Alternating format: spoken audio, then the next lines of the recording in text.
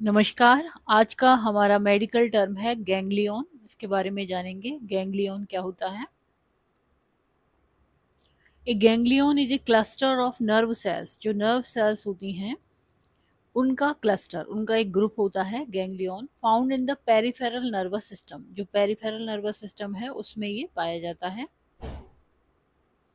The main component of the ganglion are a cell body called the somata and associated dendritic structure तो सोमे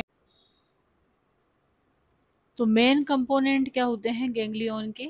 एक cell body जो होती है, उसका एक ग्रुप है एक तरह से। तो सेल बॉडी में क्या क्या होता है? एक सोमेटा होता है और एक डेंड्राइटिक स्ट्रक्चर होती है। जैसा कि इस चित्र में दिखाया गया है, ये सोमेटा और ये डेंड्राइटिक स्ट्रक्चर